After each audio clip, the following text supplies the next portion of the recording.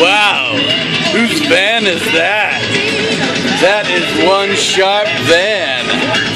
I can't believe they're selling that. I would not be able to part with such a gem. wow. Someone's done lost their minds.